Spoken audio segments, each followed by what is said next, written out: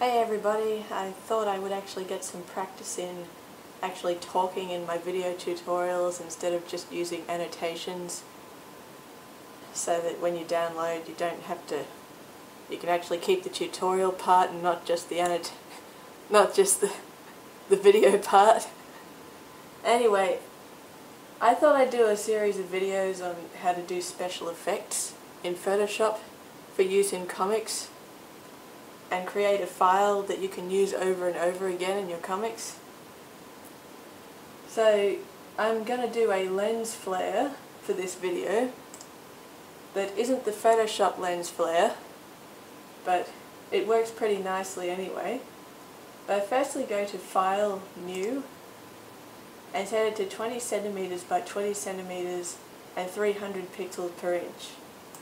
We're making it big so we can distort it and resize it without too much quality loss so you can use it for lots of different purposes and I just pressed X to change my colors and Alt Delete to change the background to black because these effects look best on a black background.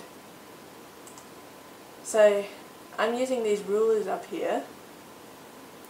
If you can't see the rulers in your Photoshop, you go to Filter, uh, View, sorry, view, show, oh you can just click rulers here. But in previous versions it might be under show instead of just view rulers. But anyway, I don't really need the rulers.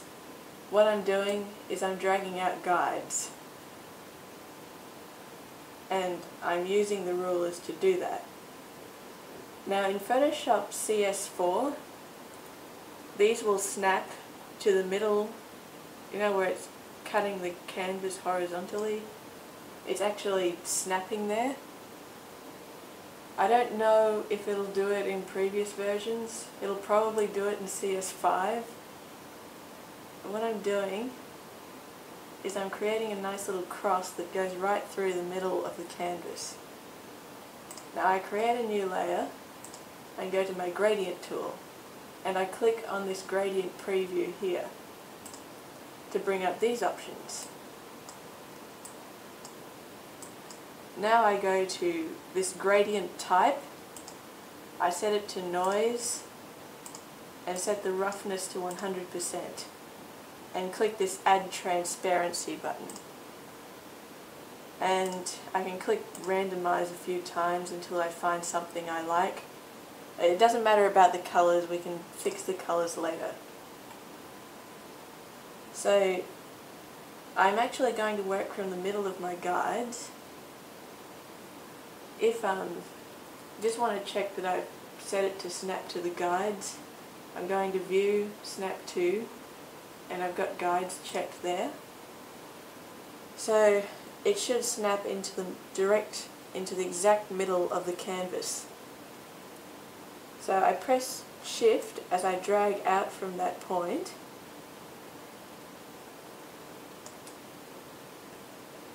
And okay that is a radial gradient. That is not what I wanted. I, I forgot to set the gradient to angular angle gradient. So that that is probably the fundamental step of making the gradient so I try that again, and yes, I've got the right effect now, except now it's all colourful. So I click Control Shift U, and that turns it into black and white. It discards all the colour information. But there's not enough contrast in there. Go to Image, Adjustments, Equalize, and it turns the grey beams into black and the white the light grey beams into white. So now we've actually got black and white beams. Now you don't want the beams to go all the way to the edge of the canvas. I mean not unless you're trying to achieve some sort of warp effect. But I'm going to apply a layer mask to this and fill it with black so it's completely invisible. It's still there, it's just visible. Invisible and apply a radial gradient foreground to black and once again I drag out from the middle. Um, about there I might add a little bit more and that looks pretty good and to lighten up the middle a bit we can create a new layer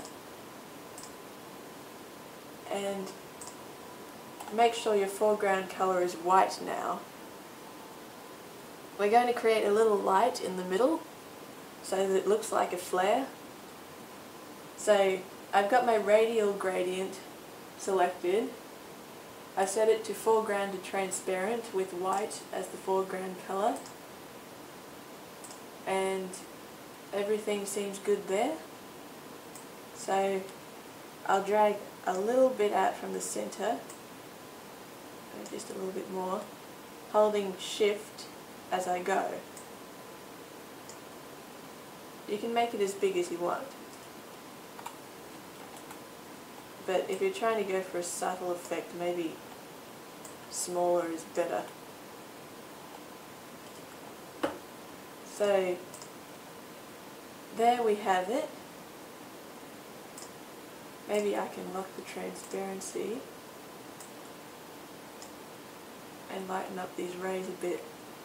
Okay, what I just did, I locked the transparency on the layer with the conical or angular gradient on it and I actually used in the same gradient I used for the middle to colour the rays close to the thing, the um, the light in the middle. Okay, so that looks pretty nice. So we can actually select our beams layer and go to filter, blur, Gaussian blur because it looks a little bit too hard and That just blurs the beams out a little bit so they look more realistic. So now that it's right, we can merge this down. I'm merging down the light layer so it's on the same layer as the gradient with the rays in it. I merge it down.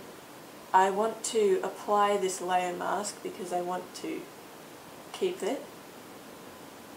So there, my it's all in the same layer and everything that wasn't in the layer mask in the rays layer was actually deleted.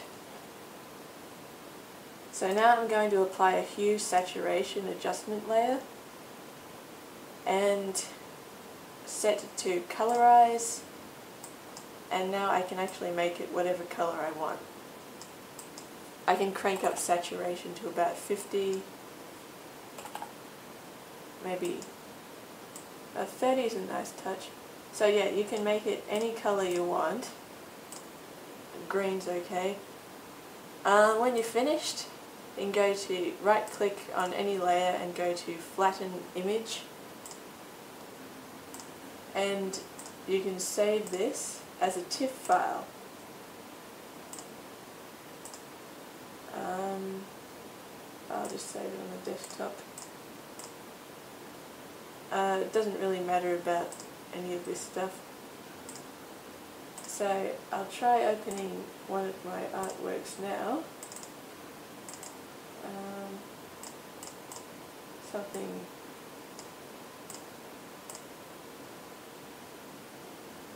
Okay.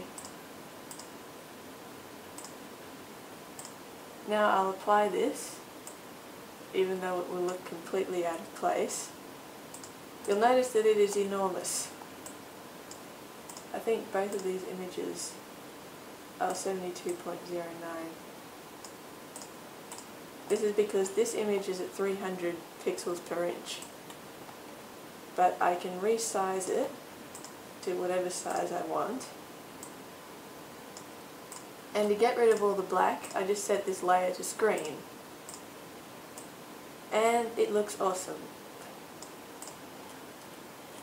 So that that is how you make a lens flare or basically a nice little flare effect. It doesn't really look like a lens flare.